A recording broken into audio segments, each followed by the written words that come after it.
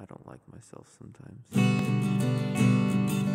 But I'm learning to get over it. Because that's the adult thing to do. I'm not gonna chase my dreams. That's the adult thing to do. I need to provide for myself.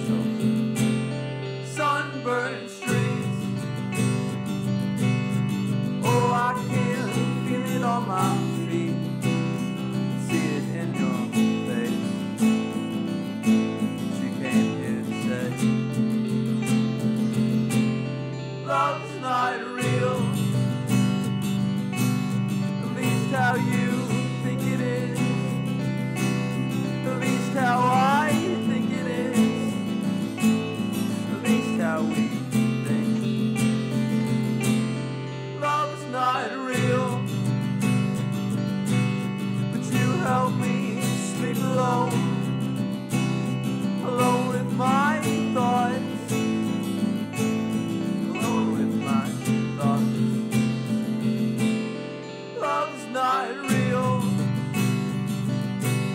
but I would be better off